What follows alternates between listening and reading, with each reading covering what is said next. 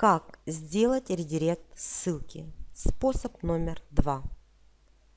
Для того, чтобы сделать редирект, мы воспользуемся сервисом dot.tk.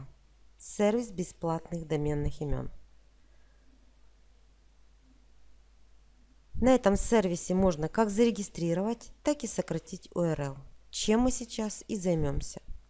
Копируем ссылку или берем вашу реферальную ссылку и вставляем в окно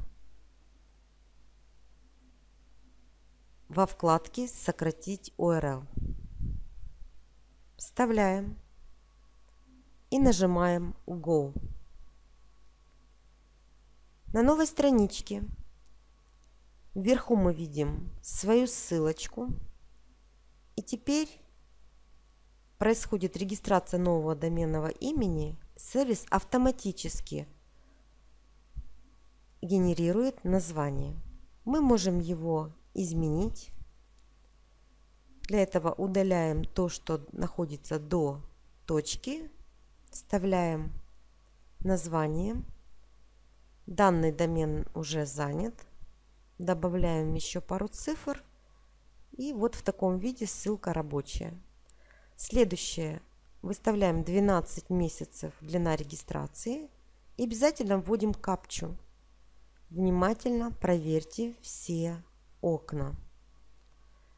Кнопку регистрация мы пропускаем и нажимаем на кнопку продолжить без регистрации. Благодарим за регистрацию доменного имени. Копируем наш новый адрес, вставляем его в строку браузера.